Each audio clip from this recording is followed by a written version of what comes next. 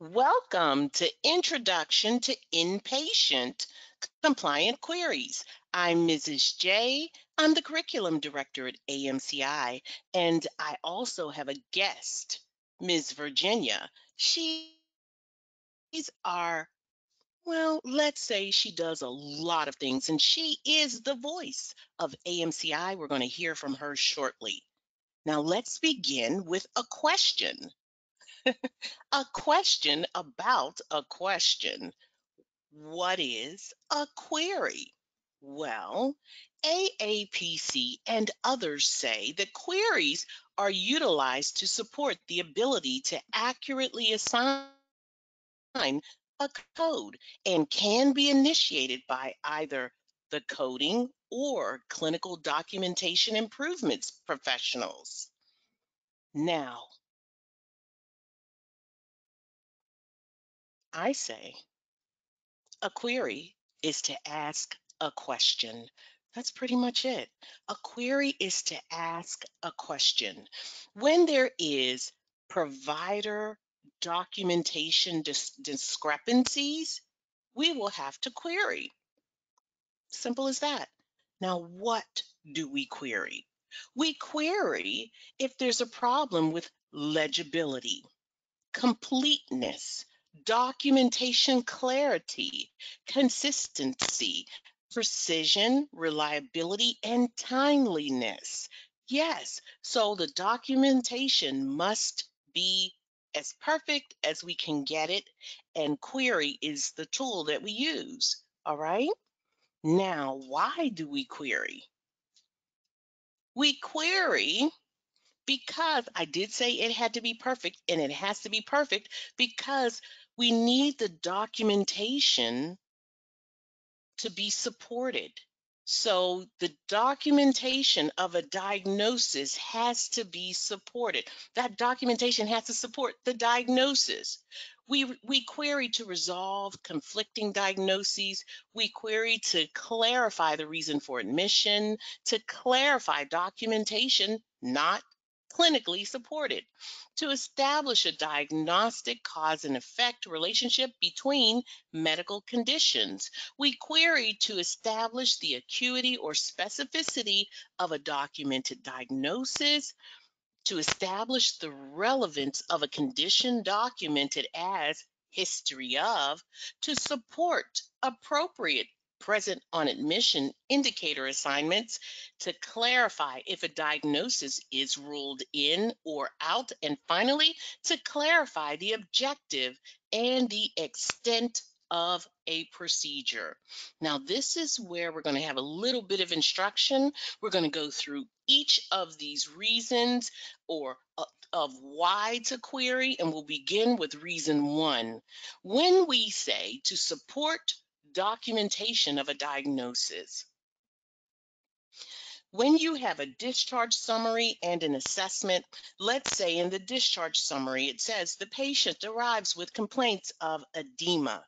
Blood pressure was 120, excuse me, 190 over 20.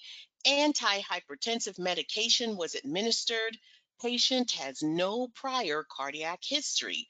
Patient was admitted for hypertensive crisis assessment, hypertensive crisis, and CHF. Hmm. Well, the discharge summary doesn't mention anything about CHF. And if nothing else in that patient's chart mentions that the patient had congestive heart failure, then you may want to query the physician for clinical documentation to support the diagnosis. So this is an example of reason one, to support the documentation of diagnoses. All right, number two, we query to resolve conflicting diagnoses. In our example, we have a progress note. On March 30th, Dr. A documents COPD as the patient's diagnosis. On the 31st, Dr. B says this patient has respiratory failure. And on the 1st, Dr. C says the patient has asthma. Now, This is conflicting because we have multiple healthcare providers providing different diagnoses. However, they probably are talking about the same thing. So the coder or the CDI professional will need to query the physician to determine the correct diagnosis. Which one? All right. This is your example of number two. Let's move on to number three. We query to clarify the reason for admission. In our example, it says the history of present illness. Patient complains of foot pain.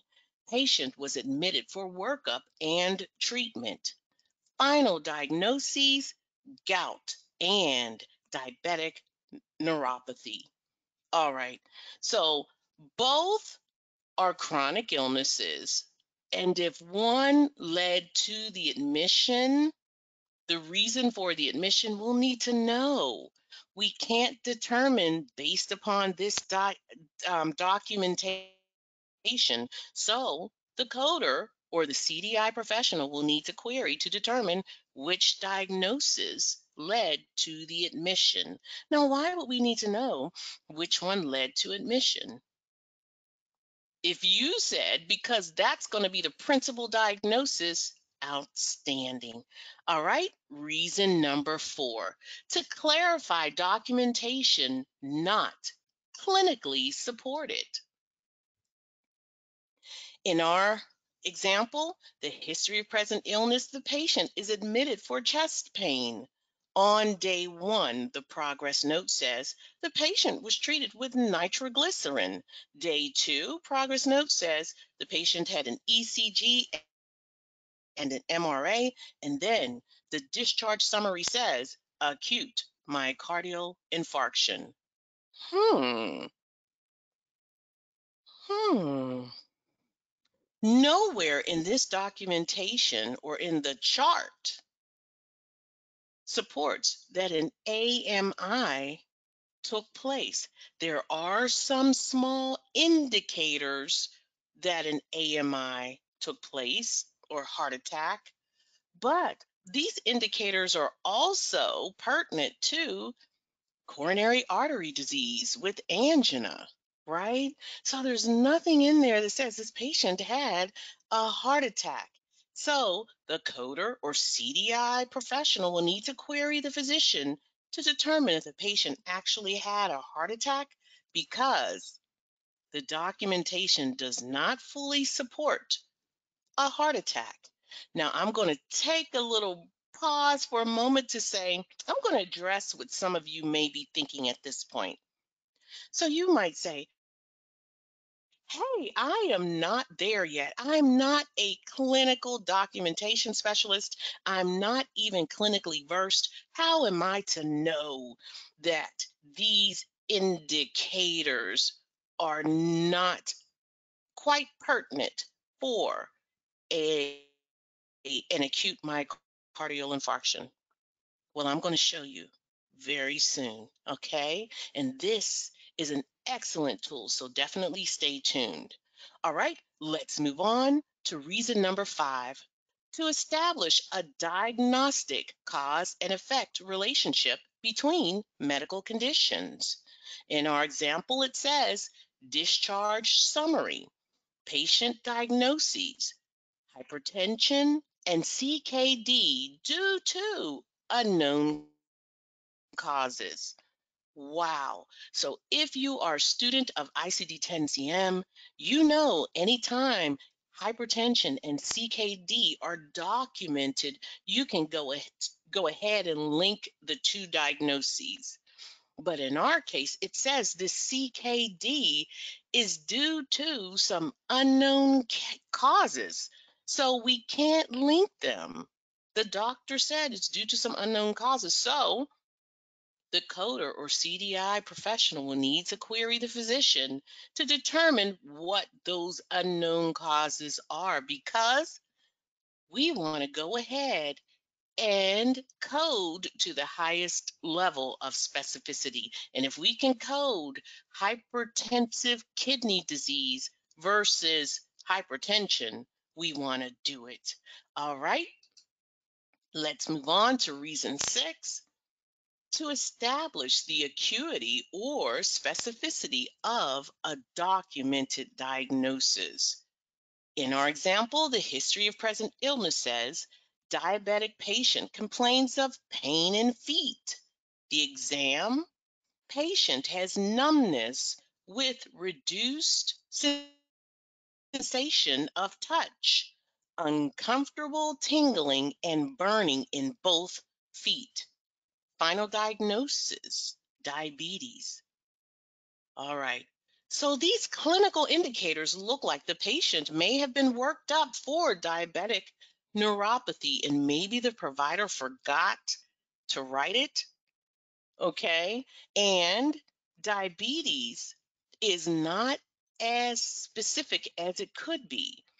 If we could document diabetic neuropathy, that is much more specific, and that's what we strive towards. So, the coder or CDI professional will need to query the physician to determine if there is possibility that the diagnosis of diabetes can be further specified.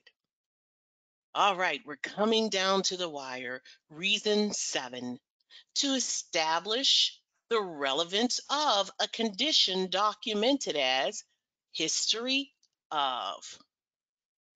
The, in our example, the history of present illness says the patient was admitted for anemia due to chemotherapy.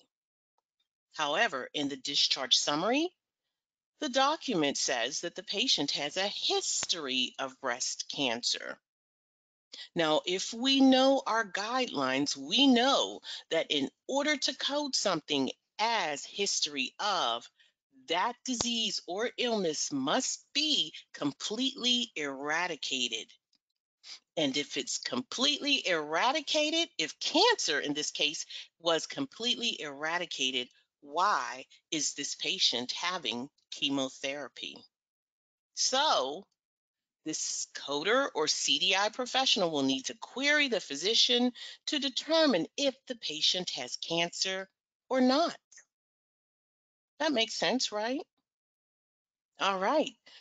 Reason number eight to support an appropriate present on admission indicator assignment. All right. So if you have a circumstance where the operative note says that the patient had a gastric bypass and liver laceration was repaired. Oh boy. So we're going to need to know if that liver laceration was present on admission.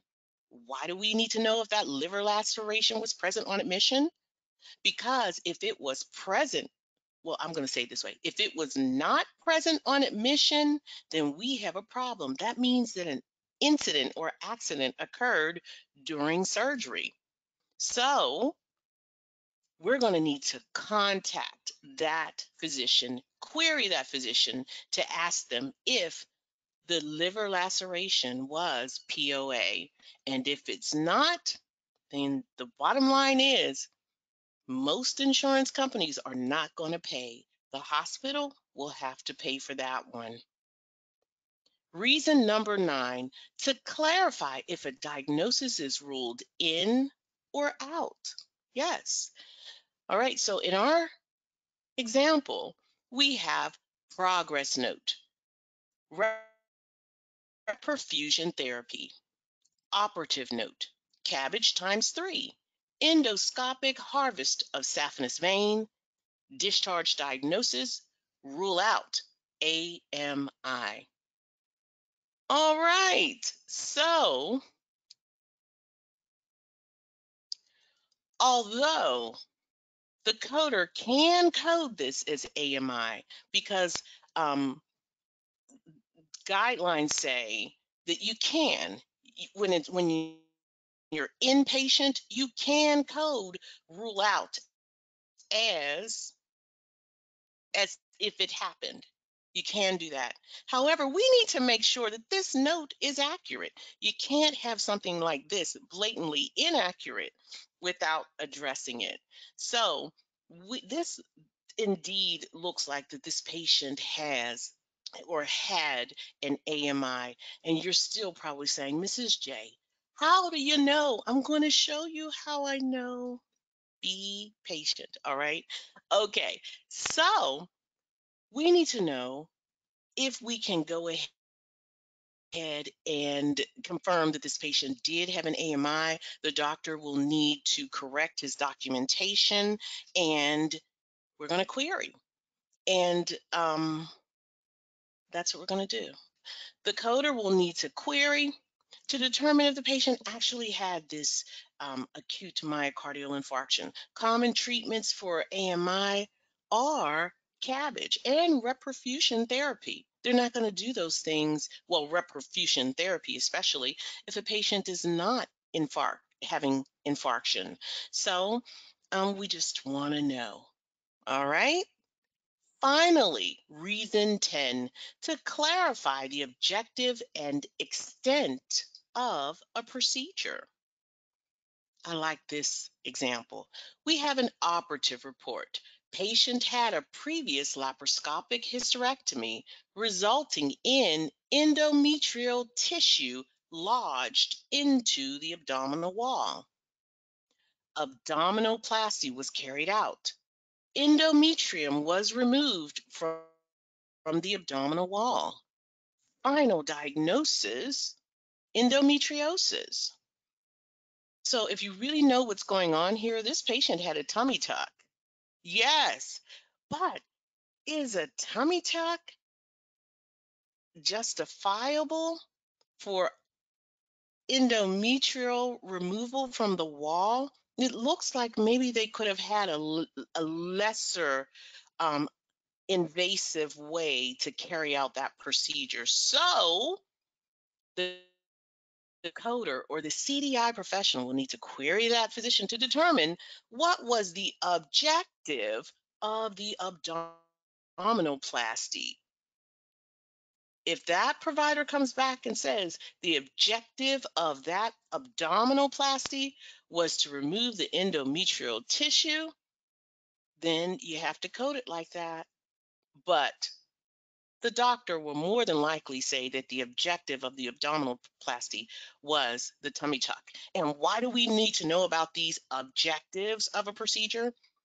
If you haven't studied PCS coding, PCS coding is these codes are highly granular, highly specific, and these codes really are developed around the objective of the procedure. Yeah.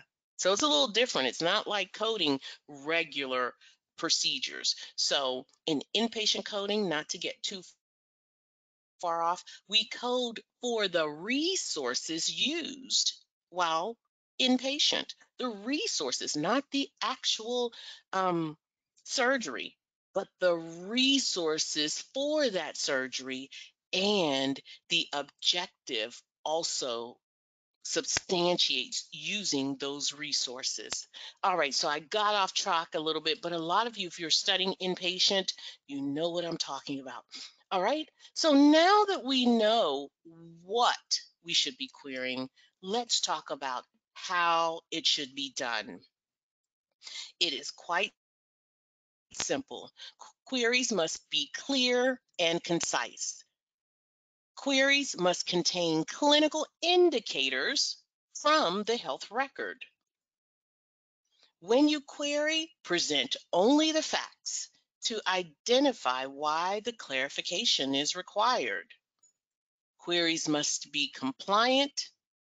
And finally, never in your query should you discuss the impact on the re reimbursement. Now, I did say that we strive towards specificity, and I'm going to say it. The more specific a diagnosis is, the higher the reimbursement. That is true. But that is not what we should tell the provider. That should not be their reason for adjusting the documentation. All right, so there are types of queries.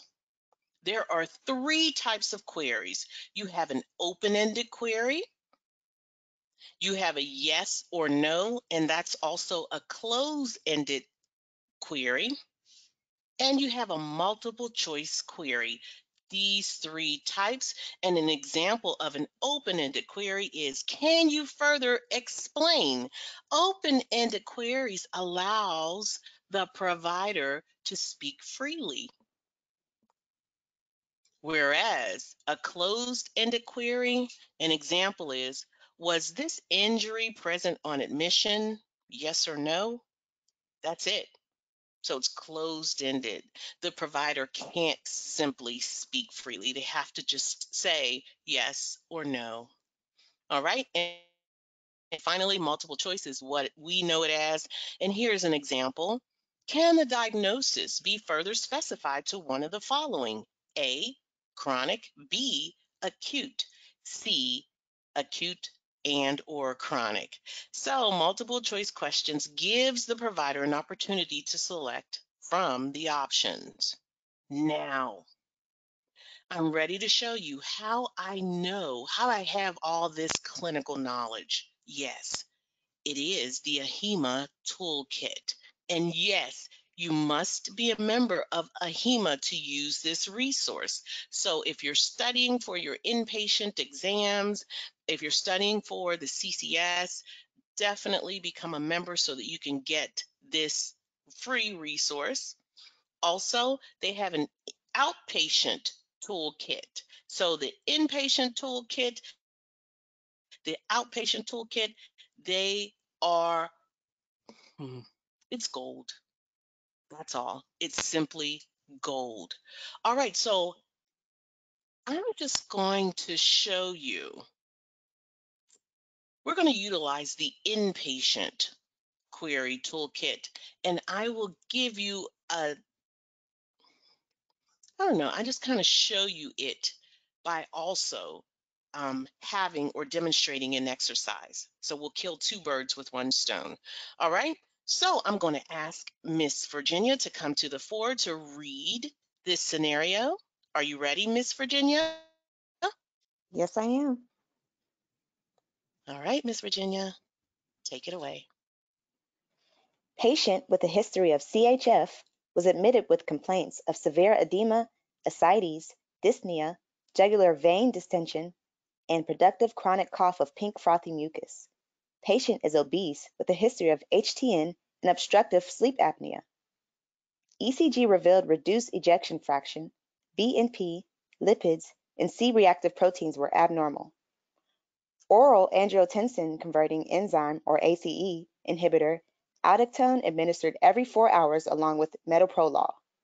IV Lasix significantly, significantly alleviated the edema. Assessment CHF. Plan, continue course. Patient referred to cardiac thora thoracic surgery.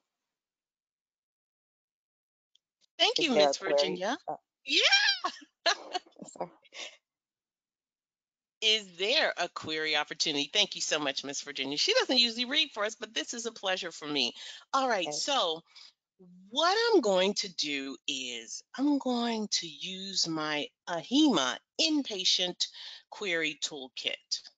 All right, I'm going to go to my toolkit. I'm going to search in the table of contents my chapter, my pertinent chapter. So in this case, we have a um, circulatory um, disease, congestive heart failure. So I'm going to go to that section. They're pretty much consistent with ICD 10 CM chapters. So, chapter nine, diseases of the circulatory system. Underneath, there are three conditions congestive heart failure, specificity, AFib, and myocardial infarction. So, in our circumstance, we have CHF, right? Our patient was diagnosed with CHF, so you know what I'm going to do? I'm going to click on this link. And why am I going to click on this link? I'm going to click on this link because I need to know if I need to query. How am I going to know? I'm going to click on this link. This link is so amazing because it helps you understand query opportunities. Yeah. So we want to know if our circumstance is queryable. But before we do that, I want to just show you what you see after you click on the link. So I clicked on the link and I've got a template for a query for heart failure specificity. Yeah, so we have congestive heart failure. I need to know if I need the query and how I'm going to know. I'll, I'll show you in a moment how I know, but first let's look at how this is set up. First, you'll need to query the provider that's legally responsible for the patient. So you're going to say, Dear Doctor so and so. Next, you are going to identify right here or refer to where the query um, circumstance is located or where the problem is in the chart, where the discrepancy is in the chart. So if it's in the discharge summary, if it's in the HPI, if it's in the progress note, you'll need to document it right here. Next, clinical indicators. It's these clinical indicators, signs and symptoms, risk factors, treatment, and the diagnostic findings. These clinical indicators will tell you if you need to query. So if you have elements found in this section, then you'll need to query. I'm going to show you in a moment. And then finally, you get to query. So the query begins here. Based on the clinical indicators and your professional judgment, you'll click on this drop down button and your question will populate. You'll select from the options, and then here are your options. This is a multiple choice query for heart failure specificity. All right, so I've given you a little tour. Now let's take the documentation and let's put it in this template. All right, so pretty much we are going to place the clinical indicators from the documentation in this template. All right, here we go. We're going to begin with signs and symptoms. So when you click on the drop down button, you'll see a list of signs and symptoms. If you have these signs and symptoms in your documentation, and there's no specificity, meaning no type of specific CHF, then you'll need to query. And what do I mean by specific? Well, down below, here are some examples of specific congestive heart failure. Acute systolic, acute diastolic, acute systolic and diastolic, chronic, acute on chronic, etc.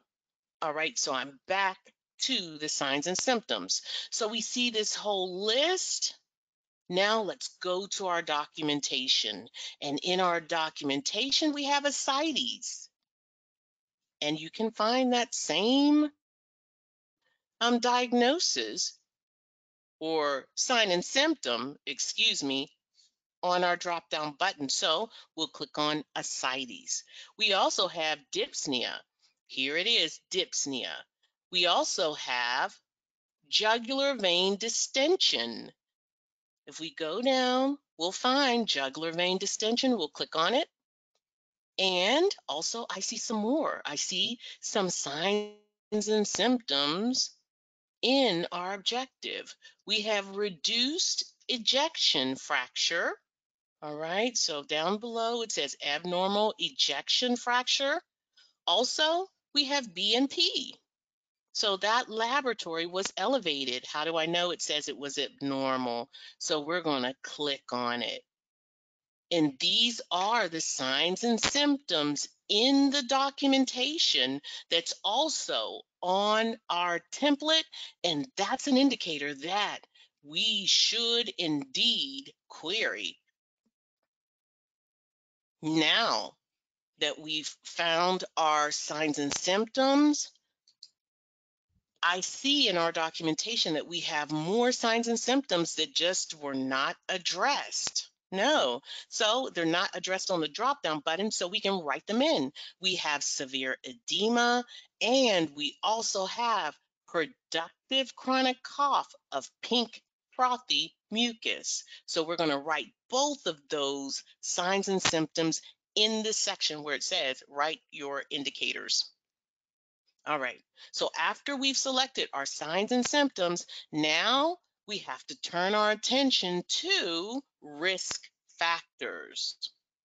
All right, so let's click on the drop down button. If we click on it, we see that there are some risk factors in our documentation.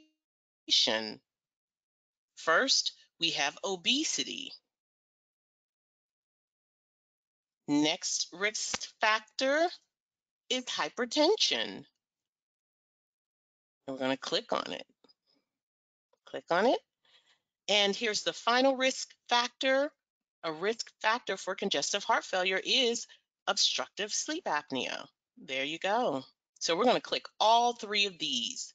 Now we're going to scan our documentation to see if there are any additional risk factors Let's see.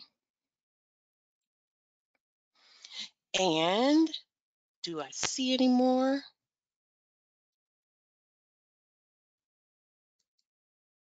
I do. I see some more.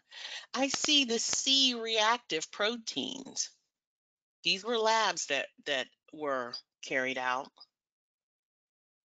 And I also see the lipids both were abnormal, I'm going to write it here. So there's not enough space, but you know the idea or the intent. All right. Now that we've gotten all of the risk factors out of the way, let's take a look at the treatment. If you click on the drop down button, you'll see all of the treatment options that you can select from. So I'm going to look in my documentation and see if I can locate any of them. All right, so we have oral angiotensin converting enzyme or ACE inhibitor, aldactone, and that's the very first one. This patient was administered aldactone. We're going to click on it. Next, I see IV Lasix. Absolutely. So this, these two risk factors I see in my documentation. I'm sorry, it's not a risk factor, it's treatment. These two treatments took place and I'm scanning my documentation to see if there are any more. And I see something else. So it's not listed, so I have to write in my treatment right here. And that's metoprolol. All right, so that's pretty much it. And then to end off, end things up, I'm going to put in my final, the diagnostic findings, the provider's diagnostic findings, and they are, or it is, congestive heart failure. That, and I'm going to get it from the assessment right below. And now I'm ready for the query. Okay. So your query is right in this section right here. And essentially, you can click on this drop down button and select the query that you want to make.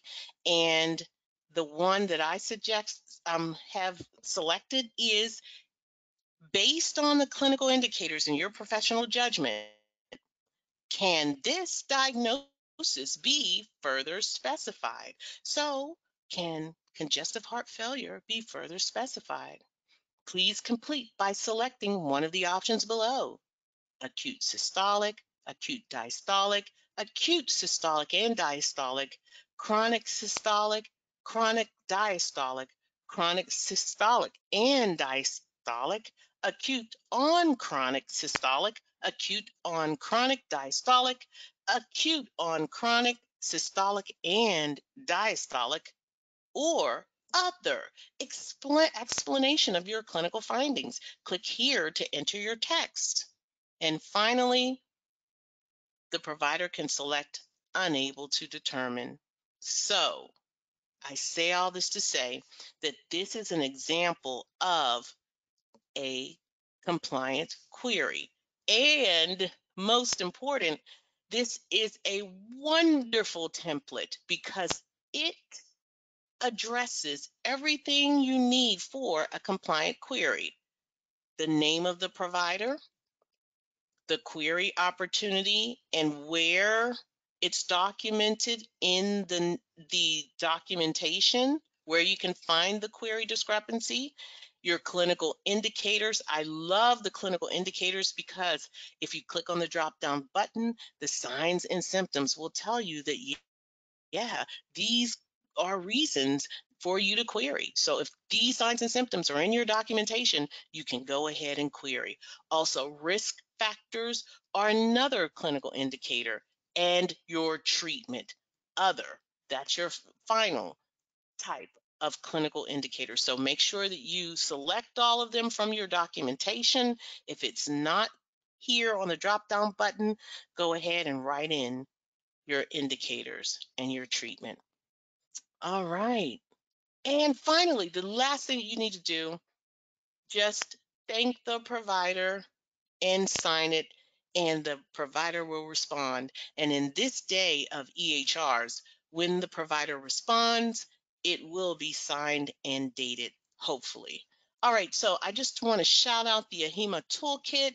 It makes your life easy. It definitely helps you develop a compliant query definitely. And now if you want to, um, if you're doing inpatient, you use the inpatient compliant query and outpatient, use the outpatient compliant query toolkit.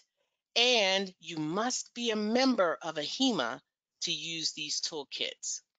So I want to sum things up. How to query. It must be clear and concise. It must contain clinical indicators from the health record, present all, present only the facts, identifying why the clarification is required, be compliant, and never ever discuss the impact on reimbursement. All right, so I'm just going to ask Miss Virginia to come on board, and before she does, I want to say thank you for for just engaging and take it away, Miss Virginia. Thank you for watching an exclusive ex presentation in partnership with AAPC. Until next time.